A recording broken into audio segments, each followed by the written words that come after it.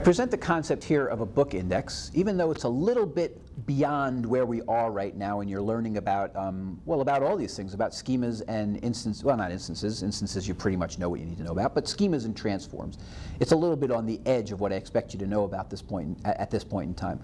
But it's an important concept.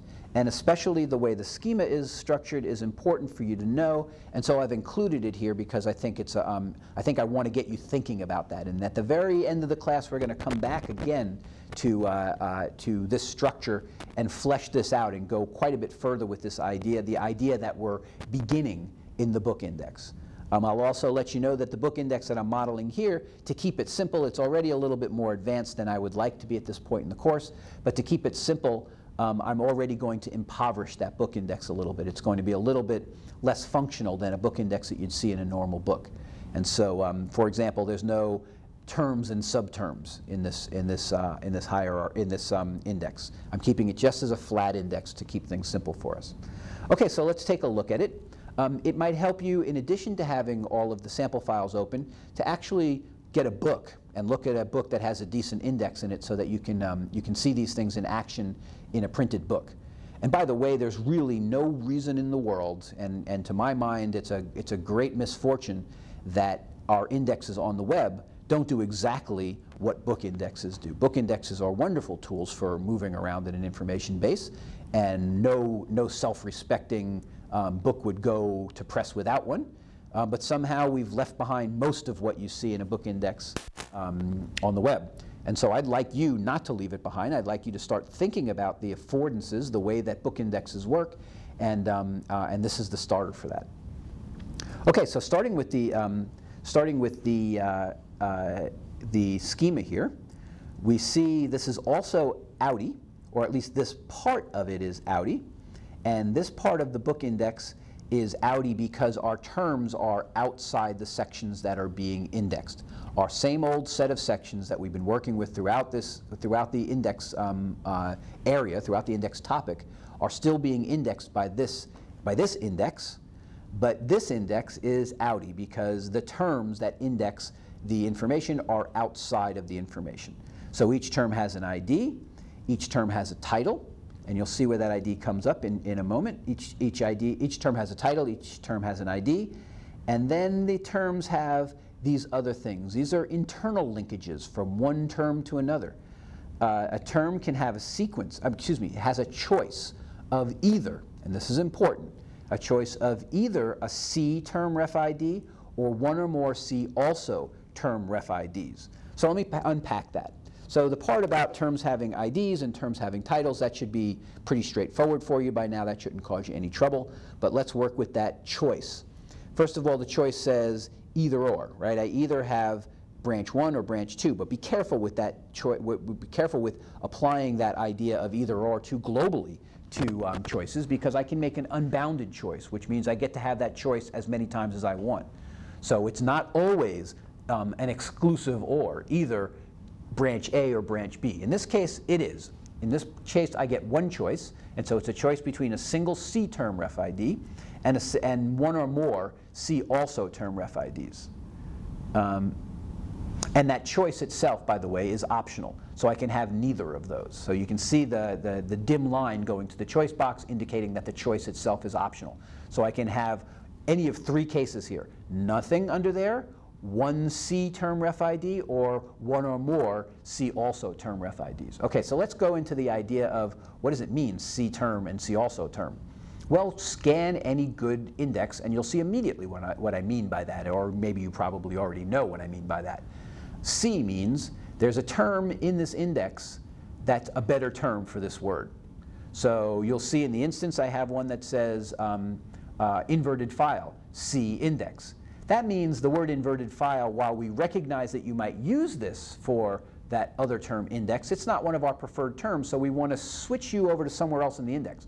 We want to link you to a different part of the index where the term index, kind of an unfortunate, uh, an unfortunate recursion there, but the, we're going to refer you from the word inverted file to the word index, internal to the index. It doesn't have anything to do with taking you somewhere in the information base. It's an internal linkage inside the access structure. So that's already a little bit more subtle than we've been so far.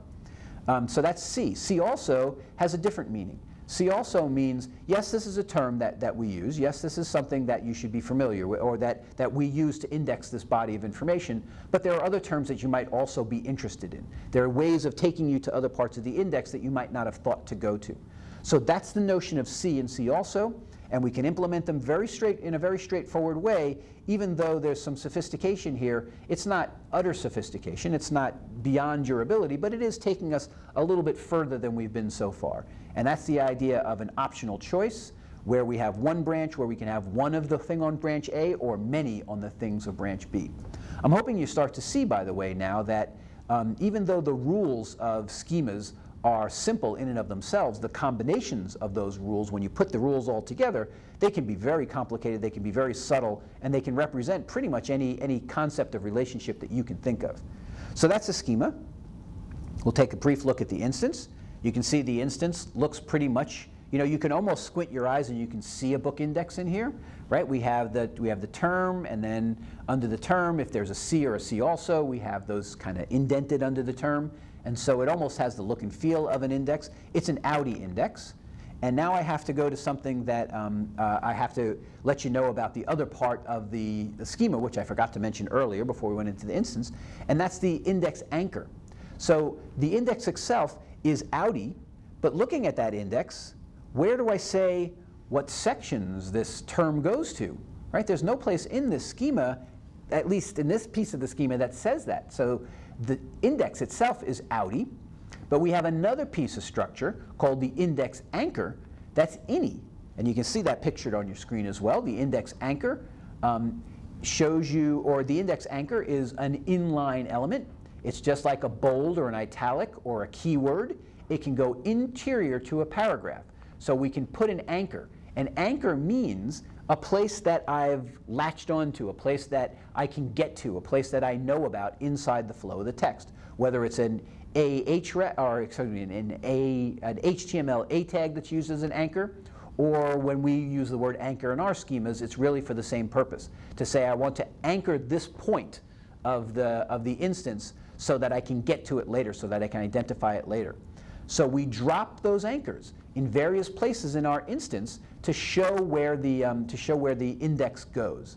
Um, and so you can see pictured in the instance, there's one picture of the, uh, there's one picture of the instance, the part of the instance, the outy part of the instance that defines the, uh, the index, and then another picture of a section where you can see index anchors circled on the picture of the section, showing that we have references from inside the topics, from inside the sections, from inside the items, back to the index.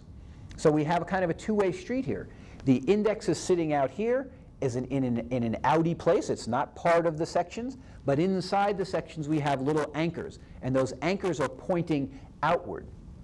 And this is kind of a, um, this is something that you'll see and may not have occurred to you yet, but when you're pointing from thing A to thing B inside of an instance, you can either point from inside A or you can point from inside B. In this case, we've chosen to point not from the, not from the index term into the section, but from the section into the index. And so a linkage, when you've pointed from A to B, B is also linked to A. You don't have to have links in both places. We'll talk about that a little later. Um, but the, the, the point here is that this is a hybrid structure. Some of the, some of the structure is outside, inside, is, is outside in an outy index, and some of the structure is inside. Those anchors are inside. So this is hybrid. Some, of, some parts of it are ini, some parts of it are outy. The pointers are going from the sections to the index.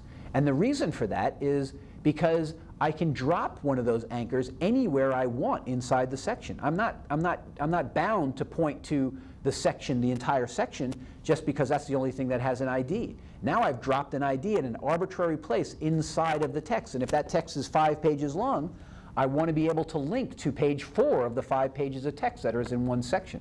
And that internal anchor allows me to do that. It allows me to put points of reference anywhere I want inside of the text so that a keyword can link directly to the place where it's referenced.